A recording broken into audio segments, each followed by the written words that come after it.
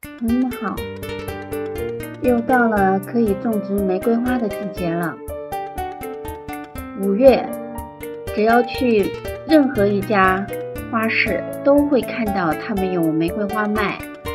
我呢去逛了逛 Costco 的花市，呃，看到他们呢有很多种玫瑰花在卖，呃，我就挑了这一盆，呃，很大的一盆玉空丧。这个呢，其实是一个比较常见的品种。那我买它呢，主要是因为第一个它特别耐寒，第二个呢它特别好打理。呃，因为多伦多的冬天是非常可怕的，到了寒冬季节，如果这个花耐寒性不够强的话呢，一个冬天过来，第二年春天如果发不出来就惨了。所以我通常呢，嗯，就买一些耐寒的品种。另外，像这种小灌木型的呢，嗯，它的花呢会开起来特别多。我喜欢呢这么小小的一盆，嗯，低低矮矮的，然后开满了花。我喜欢这种状态。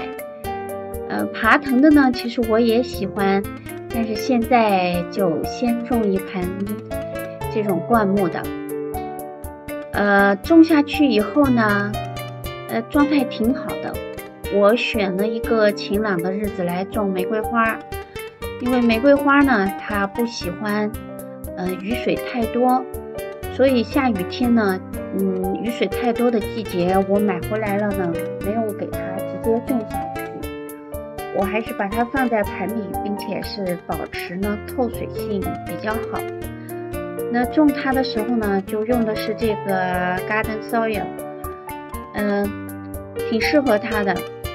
Garden Soil 呢有一定的肥力，所以在它最初的阶段，嗯，有一点淡淡的肥，对这个花呢是有很大好处的。玫瑰花呢喜欢其实是喜欢淡碱性的土壤，但是如果土壤是酸性的呢，它也不是那么计较。呃，我觉得玫瑰花最大的一个优点呢，就是说它只要有足够的阳光，呃，基本上呢你就不用太多的担心它了。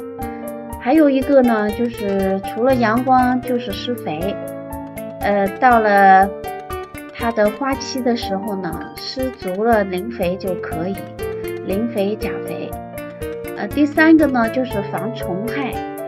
在它还没有生虫子的时候，就要开始预防。比方说，呃，它最容易沾染的是蚜虫和白粉病、黑斑病。那呃，如果要想防治这些病呢，就要在它还没有发生的时候就要做了。那我最喜欢用的方式呢，是用洗碗液，呃，大概一比。千这样的比例吧，这样的洗碗液，呃，一比一千，就是一是洗碗液，一千是水，这样兑好了以后呢，对它喷，呃，通常呢就不会再生蚜虫了。喷的频率呢，大概在一个星期一次吧。即使它没有生蚜虫的情况下，也要这么做。另外呢。就是在配置好的这个一比一千的洗碗液里面呢，可以加一小勺小苏打，很小的一勺。呃，如果嗯你觉得没有把握呢，一开始用半勺试试看。嗯，以不会伤害到植物为标准。那加上小苏打以后呢，就可以有效的防治白粉病。要在还没有还没有得白粉病之前就要这么做了。呃，频率呢也是一个星期一次。另外呢，为了防止它得黑斑病呢，一定要特别注意的就是要，呃，经常给它修剪，不要让它长得过于茂密。特别到比较闷热的天气的时候，如果它的花残花太多，呃，停留在枝条上，呃，枯叶黄叶都不修剪呢，它就非常容易得黑斑病了。如果把这些都给修剪掉，然后适当的让它通风呢，得黑斑病的几率就会很少很少。而且呢，要经常观察，如果你发现有一片叶子上面出现黑斑了，就要赶紧把那片叶子摘下来，然后放在塑料袋里面扔到垃圾堆里，而不要放在它旁边，以防止传染。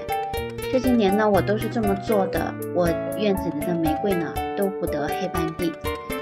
好了，呃，这个呢就是我今天要和大家的分享，谢谢大家观看，欢迎订阅、分享与点赞，我们下期再见。